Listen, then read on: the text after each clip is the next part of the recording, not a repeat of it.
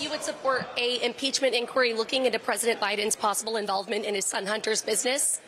Uh, no, and again, I'm running to vote, so thank you. Why would we want to impeach him when he's when there's no wrongdoing? Why don't Democrats seem to care about any of this evidence that has come out suggesting that he might have been involved? There's no real evidence. Wouldn't an inquiry help Democrats get that evidence that you say you don't have at this time? Well, it's not that Democrats don't have evidence, it's the Republicans don't have evidence. They want to do an impeachment without evidence. That's the problem. Okay, so the Democrats say there's no evidence of this. But I suggest that if there is an impeachment inquiry, then you'll get the evidence because that, they're looking for stuff that's not yet been revealed. It's an inquiry that opens up the doors. Great point. It is not an impeachment at the outset. It Right. is an inquiry. You will get evidence. But I will counter what you said and said, based upon the lay of the land as we have it now, there is evidence.